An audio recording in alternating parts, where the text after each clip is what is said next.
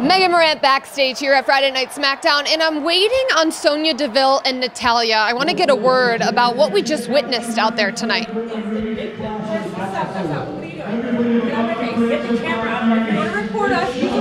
Her name is Megan. Her name is Megan. Thank you, Natalya. Well, ladies, obviously things didn't go out there tonight the way that you would have hoped, but now you have to turn the page. Next week, you take on Zoey Stark and Nikkita Lyons. I don't want to hear about Zoey Stark and Nikkita Lyons. If it wasn't for me making that NXT women's division relevant, they wouldn't be mentioned in our division.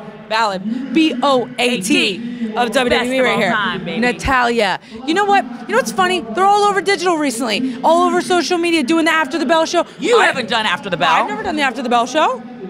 Disrespectful. Unbelievable. Tell them what we're gonna do. I can't wait to find out how flexible Nikkita Lyons and Zoey Stark are when both of them perhaps maybe get tapped out in the sharpshooter. Listen, Morgan. Listen here.